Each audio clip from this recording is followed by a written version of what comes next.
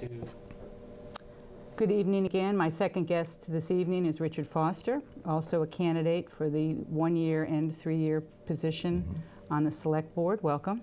Thank you. And uh, since I don't know much about you, this is going to be a lot of fun for me because I'll get to meet you and get to Okay. get to see what you're all about. So, um, for our viewers and for myself, uh, who are you? What have, how long have you been in town?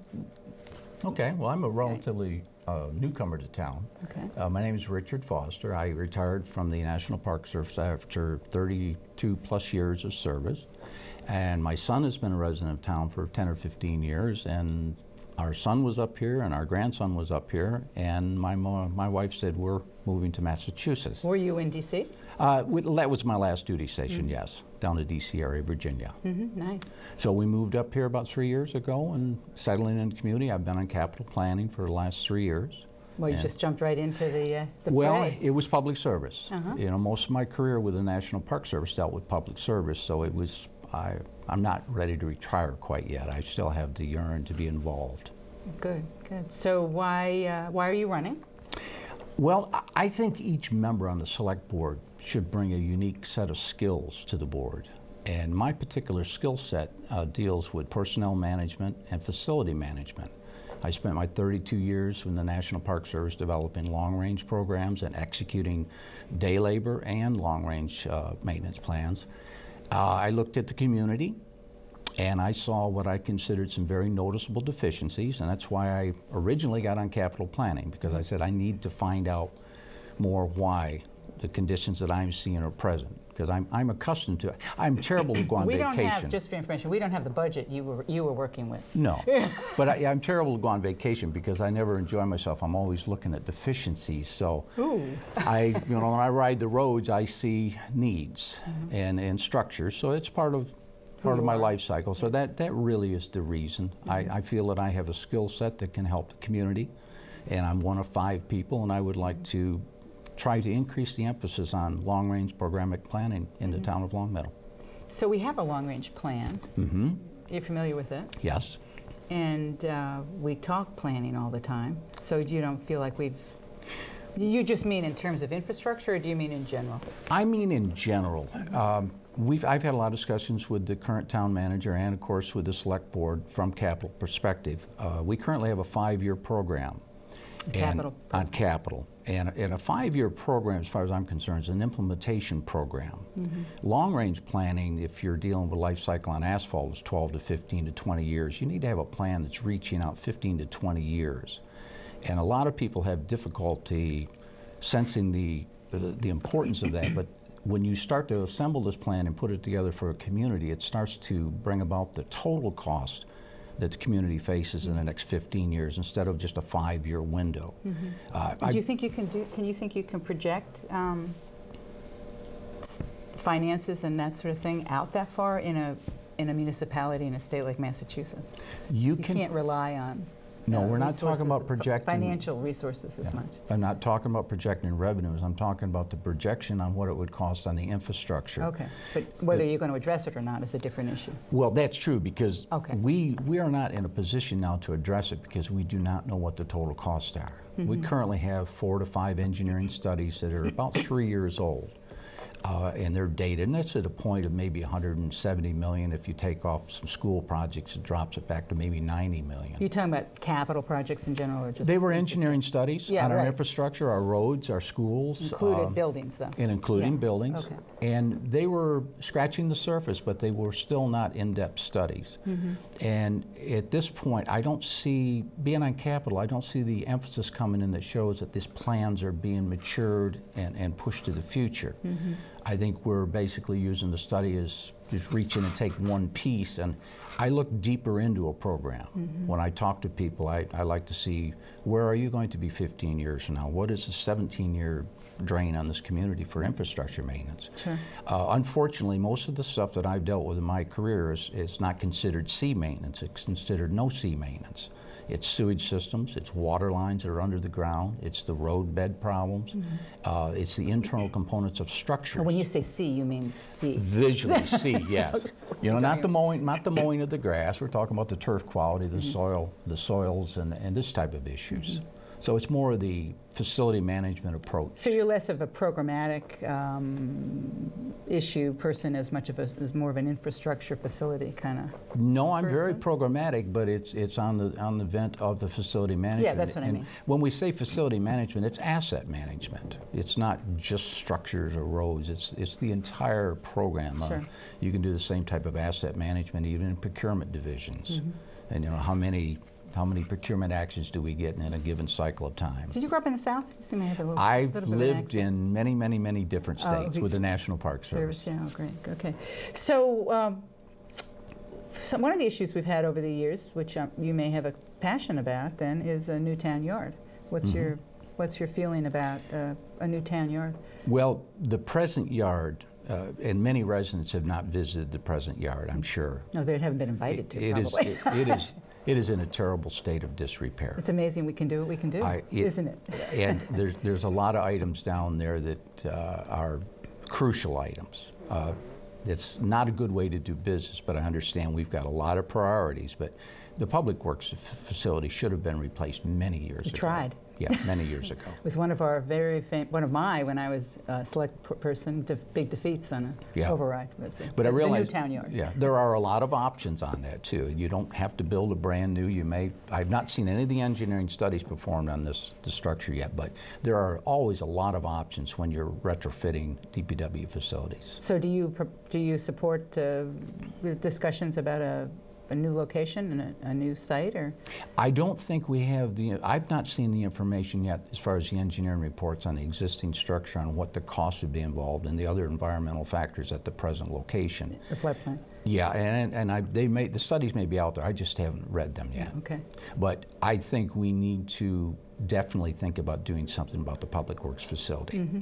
It is it is not a good environment to have people working in. Yeah, it was the, the scenario was, if I recall it correctly, it was a long time ago when we tried to do replace this one. Mm-hmm. Was there was a vote on uh, the DPW? We had an over, had to do an override. It was right after Proposition Two and a Half came into Massachusetts. So we did we did a, try to do a two million. That's all it was at that Mm-hmm. time to re- do a new yard down there.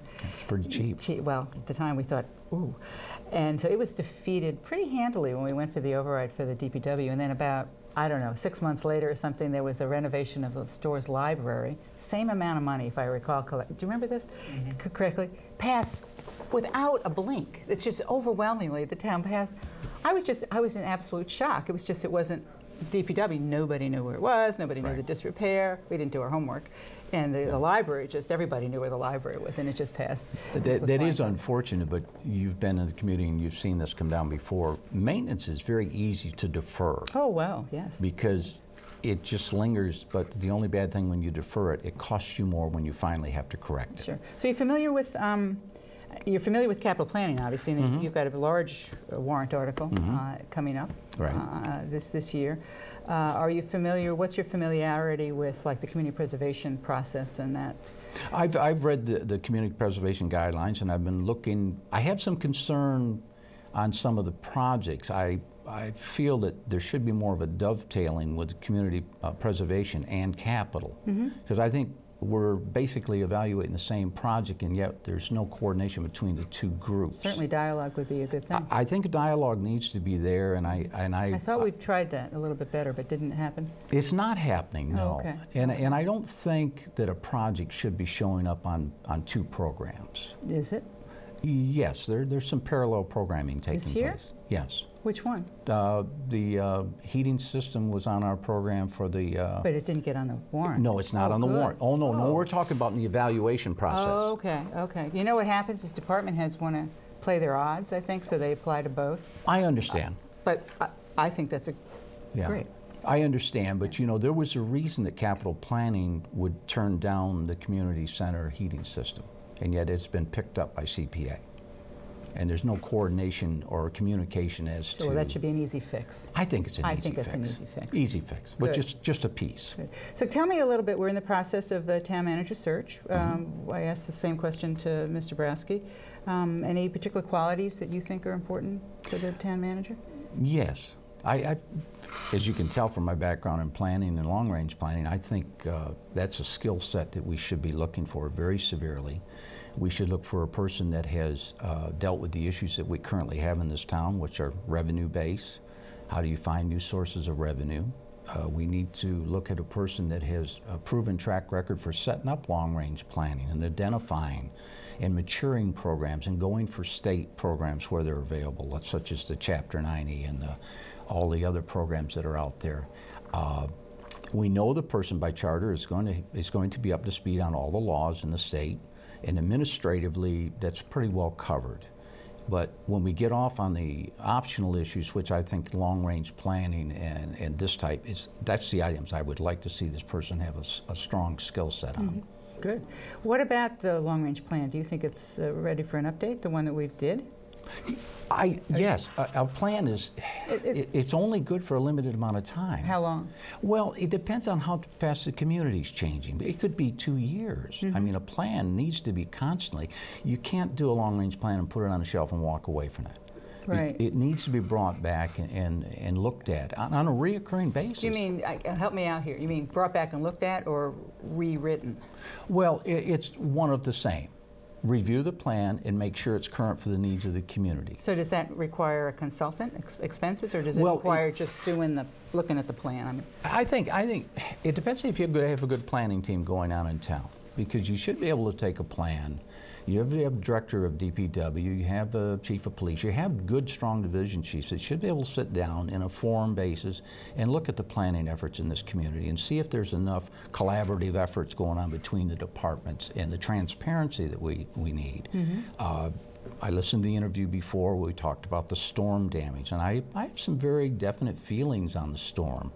can share if you like. Uh, Well, we went, we, we went through an excellent response on the storm. It was a devastating storm. And where we, where we did not continue with the effort was the secondary aspect of the storm. And it was where we should have been in and fleshed out the program that is going to be carried on now by DPW or with, with money that's being allocated. How would we have done that at that time? Well, we had our staff out with the contractor. They were taking pictures, and we could have been inventorying that day. Ah, And, and roll, and no, I, there's no evidence that this has been done. Yeah, all these don't know. costs could be rolled together. But we're five months, six months after the storm. By this point, I think within two months, the select board should have been presented with a budget for the final cleanup aspect. Mm-hmm. We already knew what the contractor was going to do, and we knew what was going to be our future By- responsibility. By final cleanup, do you mean the, the, the limbs that are broken? The- the- That, that, that aspect? The limbs that are broken, the removals of trees, the removal of stumps, uh, Mm-hmm. even getting off to the point of where are we going to revegetate in the community? Mm-hmm.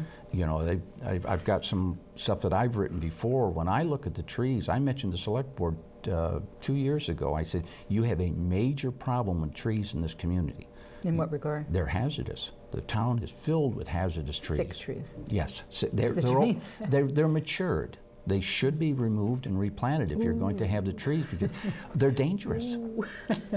you saw a lot of the trees that came down have got a hollow core in them. Yeah, yeah, it's interesting. Some, uh, there are some residents in the town that are, and I don't know them all, I was just copied on an email about them, uh, looking at a, a historic tree preservation bylaw. Are you familiar with this? Oh, okay, I had not, Yeah. I didn't know much about, I don't know much about it, but that might be contrary to what you're Well, I talking had. about. I mean, I, mature trees are beautiful in my mind, but, Yeah, well, in, in the in the National Park Service, I had Class A landscapes where each tree was labeled and identified, and that was a prescribed planting program.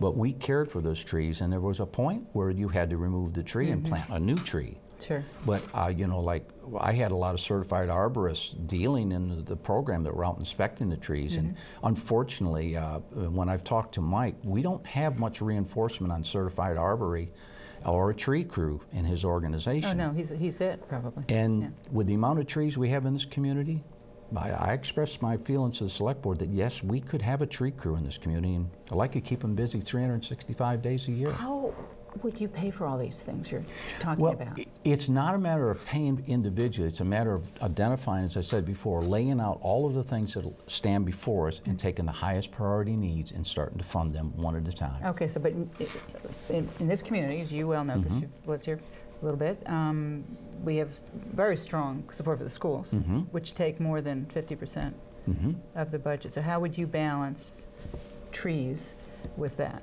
Well, I'm not going to balance trees against the school element. I'm going to go back and look at the total picture Okay. and lay out. There, there's possibly some programs that we can de-emphasize, even Mm-hmm. Such as? within, even within public works. Well, with, without reviewing everything and bringing it all on the table, it's hard to determine at this Okay. point. So there's nothing that jumps out at you. No, I, that would be unfair. Yeah, okay. It'd be unfair until you get in and actually start to study and crank up all the resources. Now, schools across the country are given high priority. In Northern Virginia, their budget, I believe, was 70 some percent or 74 percent of the Well, it depends on how you budget. cut that. We don't, when I'm saying 60, it doesn't include bennies. So, Right, You know, right. It- but it is a it is a high cost operation with the with the salary base and with the technological advances. So what's your sense about our tax base and our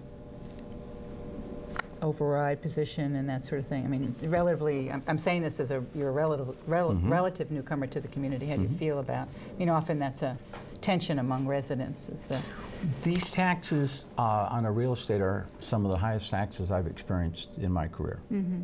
Uh, I understand there may be a reason, but uh, so as elected official, would you work to keep them as low as possible or would you be well, uh, every, interested in, you know, spending? everybody would hope to keep taxes as low as possible. But I think I think there's another step beyond that. Again, we're talking about the development of a long-range plan, so we identified the needs of the community. We also need to go in and start to look at individual budgets.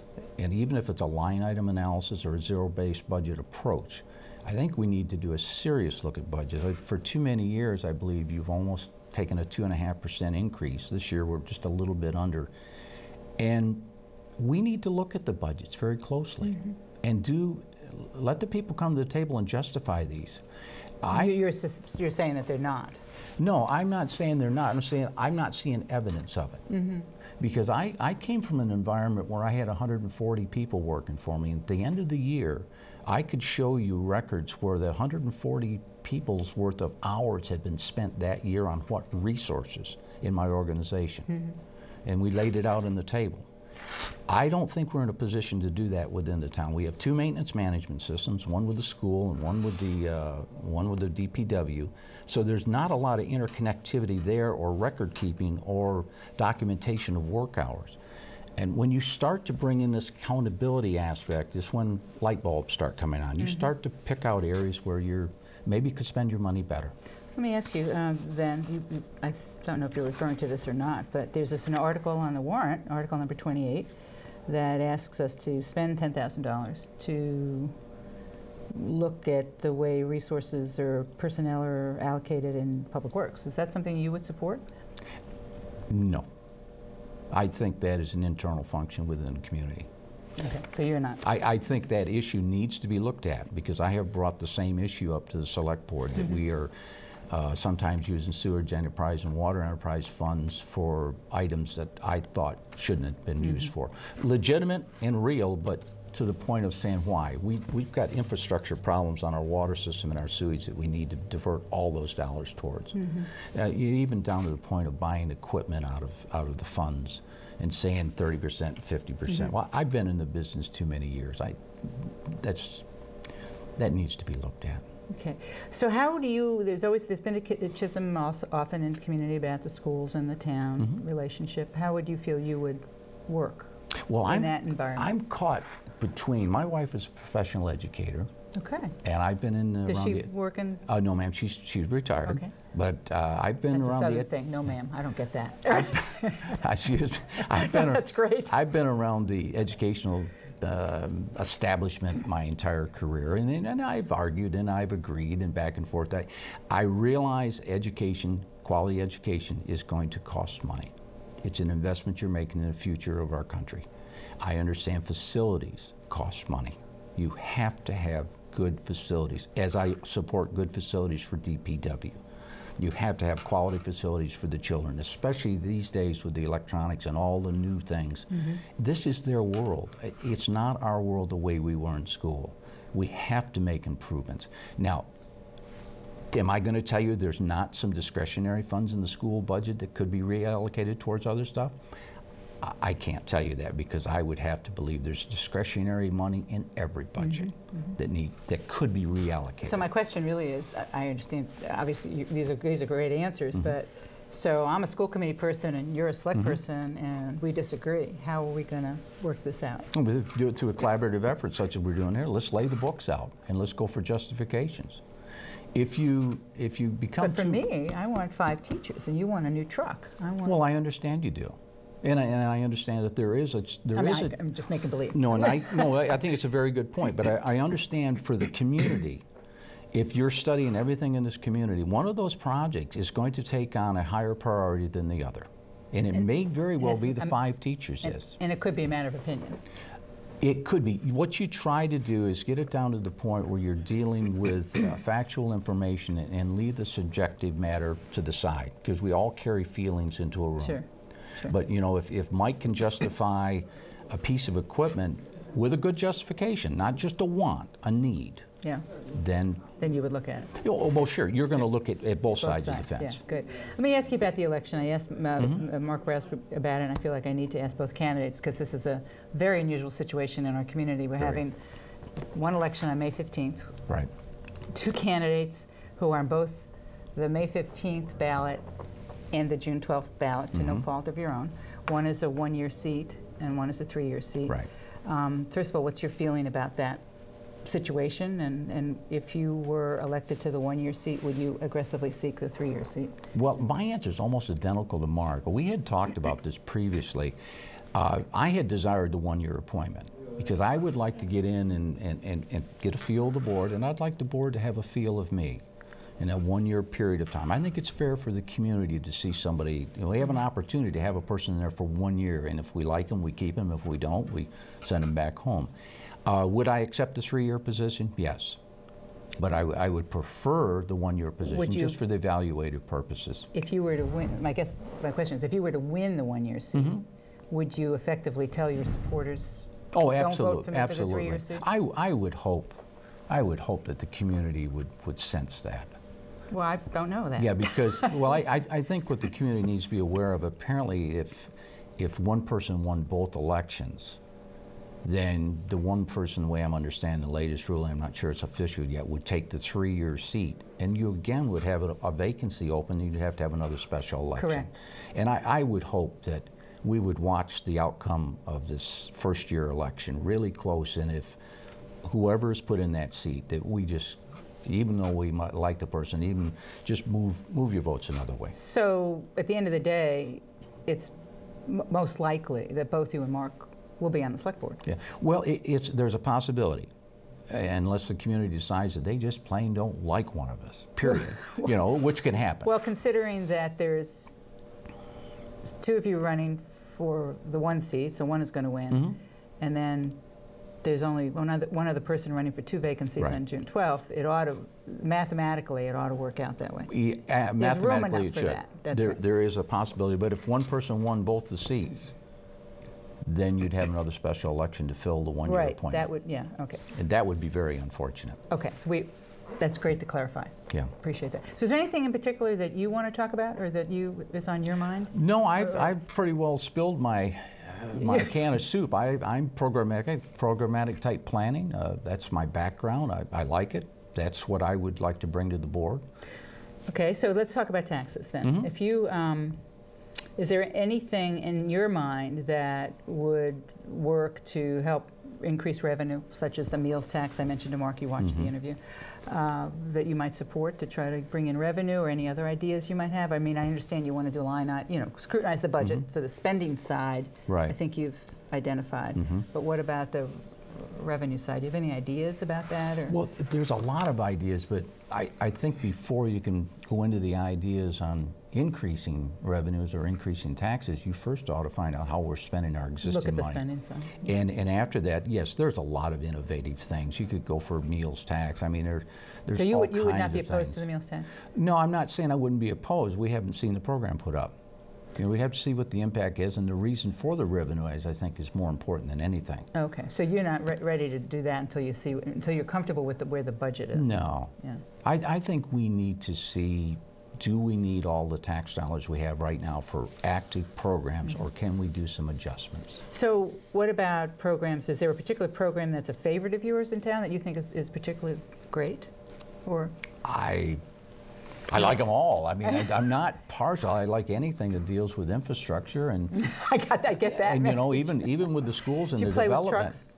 No, no. But I mean, even with the schools, I, you know, Capital supported the uh, the computerization this year. The- the grid? the, the approach. Yes, Fiber was- optics, I yes, the called. fiber optic system. I mean, we realize we're not experts in in, in computer technology, but we can certainly realize the importance of And having that And that should the save the town some money long term. It, it will save the town some money in the long run. There's no doubt about it. And that is a very well thought out Why don't approach. you, could you, why don't you talk about that?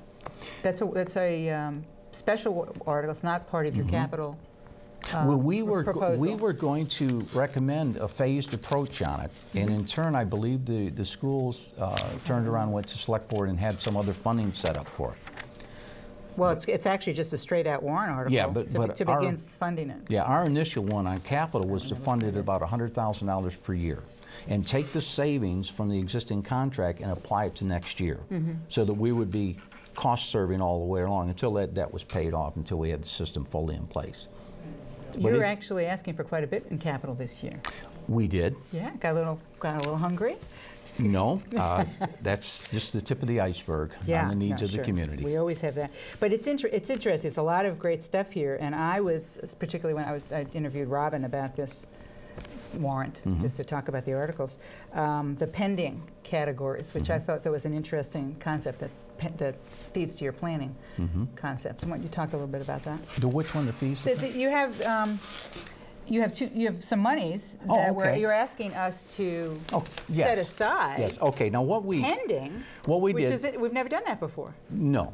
I- w- two years ago, I talked with Mike and I worked with Mike and I developed a vehicle tracking program. It's, I, had a, I had a feeling when I looked at the fleet that I was not comfortable when the consolidation of all the departments took place in town that we kept every piece of equipment.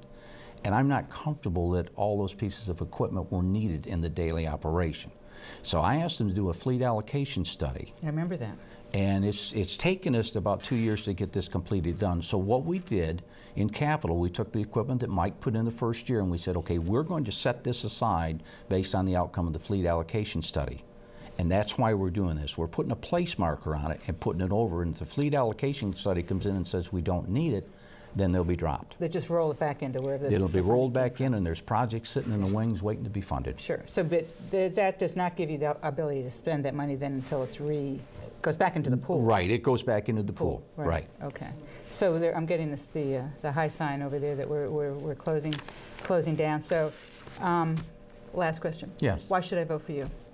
Because obviously I can vote for you twice, but why can I vote, why should I vote for you for the first? Well, based on, based on the information I've had with Capital, people have ha- like had the opportunity to see me talk to the select board. Uh, they know where my background is and they know what I stand for. Uh, I want to help the community and I want to help it for infrastructure wise. I'm looking in long range. I'm looking 15, 20 years down the road. I'm not just looking at tomorrow. Uh, I have the energy and the ability to serve the community very well with my skill set that I bring forth. And uh, I'm going to stay in Longmeadow. This is my final stop. So I'm, I'm going to be very much part of the community. And I will be part of the community even if I'm not put on the select board. I'll stay with capital planning and we'll keep pursuing the same efforts. And I would appreciate the support of the community. I, and I know there's difficult choices ahead. You have grandchildren I have one grandchild. In, the, in Longmeadow? Yes. Exciting. yes, Is that yes. fun? Oh, Get to- Get to live yeah. right there and, and Yeah. see them. well, them that's grow. why we moved Well, north instead of south. I can certainly appreciate that. Well, listen, thank you very much. I appreciate you taking the time to do this, and I want to encourage our viewers to vote. It's a, you know, it's a one-issue, two-candidate uh, uh, election on May May 15th Mhm. for a one-year seat. Both individuals are on the ballot again for the, the next one. So, uh, and both have said that if they win the one-year seat, they're going to sort of back, bow bow out as best they can Yeah. for the other person to take the three-year seat. So we encourage you to vote, uh, and I thank uh, Richard Foster Yeah. and and Michael Mark Borowski. Mark I keep saying that. My son is a friend, Mike, Mike Borowski. Mark Borowski for coming and spending time with us this evening, and thank you to our viewers. Yeah. Good evening. I have one.